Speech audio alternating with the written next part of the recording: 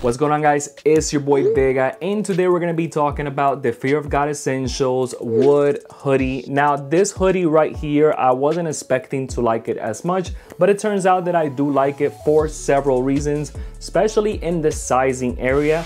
So if you want to talk about sizing, if you want to hear everything that I have to say, go ahead and stay tuned because I have a lot to say for this hoodie specifically. It seems like every single drop, there's definitely some changes going on some of them being tailored, etc, etc. So I don't wanna say too much, just stay tuned for that.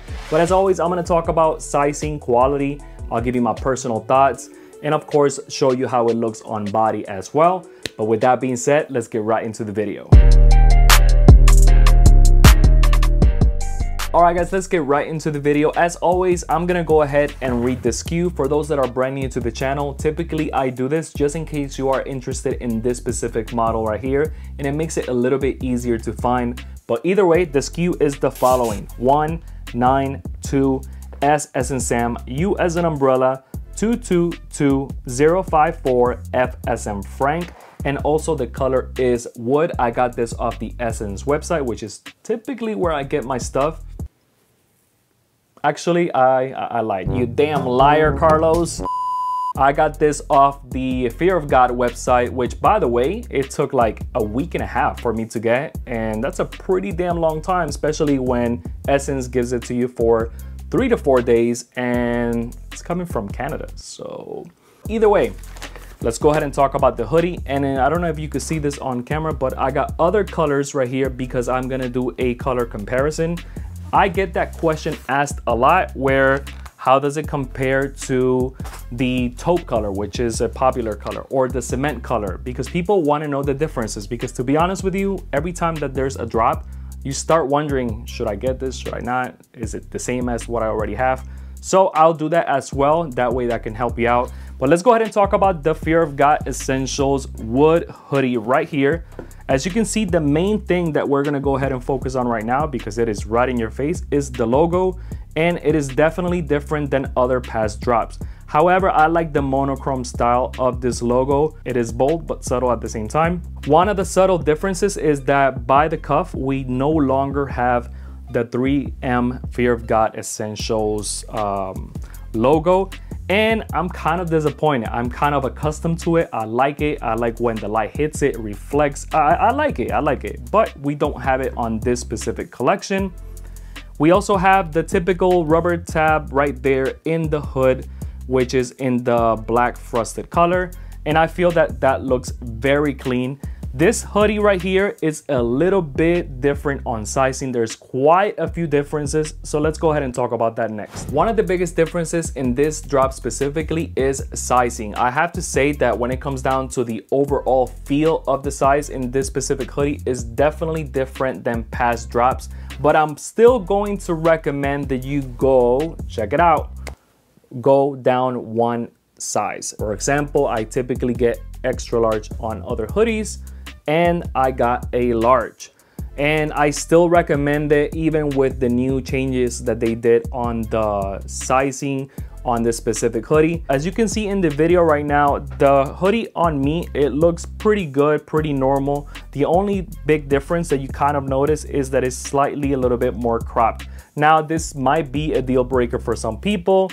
Uh, if you are definitely on the taller side, but I am 6'1 and it fits me pretty good. The other difference is the sleeves. The sleeves, I feel that they're not as long as other hoodies in the past. And I actually do like that a lot. It's not super baggy. I feel that they look pretty good. The hood itself, it's definitely small. If you compare it to other hoods in the past, they're much bigger. And I kind of like that because if it's raining, if it's windy, you just put it over your head and keep it moving. This one, you kind of need to like almost like pull it pretty hard to put it over your head. But when you go ahead and try this hoodie on, it fits different. It's still boxy, still oversized, but the hood itself doesn't match the rest of the hoodie itself, if that, if that makes any sense.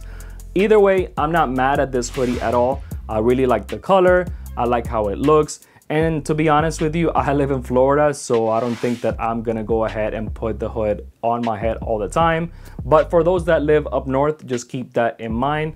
But If you don't mind that, you should be good to go. Last but not least, let's go ahead and talk about the color comparison and my final thoughts on the wood hoodie. On the right, we have the cement color. On the middle, we have the wood colorway. And on the left, we have the taupe color.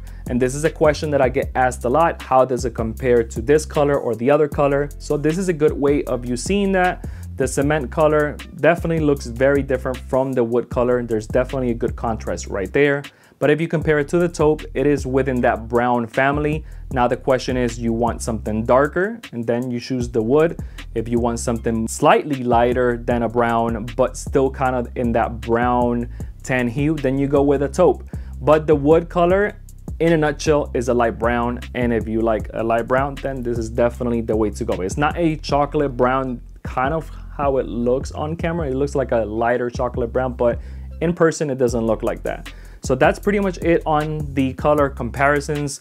You do with that information as you wish, but I feel that the wood color is, is a good addition if you don't have a lot of brown hoodies, which is kind of the reason why I went that route as well. My final thoughts on the hoodie is that it's definitely a good cop. If you like Fear of God Essentials and you gotta have every damn hoodie that they drop, this is probably a good hoodie for you. If you want a hoodie that represents kind of a good brown color, not crazy dark, but not light. This is kind of a good in-between brown color. For those that kind of been eyeing the Fear of God Essentials line, and you kind of been on the fence about it because it feels oversized, it feels too big, it, it just feels that it's just too much for you than your, your average regular style that you normally are accustomed to, then this is probably the best hoodie for you if you want to try it out because the other drops in the past were just bigger, were more um, oversized, and this is a good kind of happy medium. So it is still oversized, it is still boxy, but tapered more than the other hoodies in the past, if that makes any kind of sense.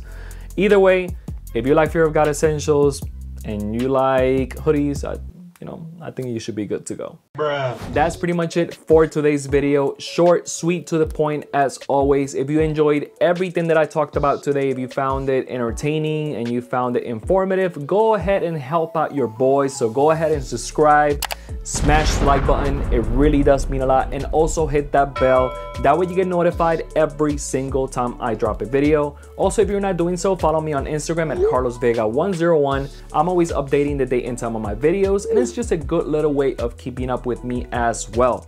With that being said till next time peace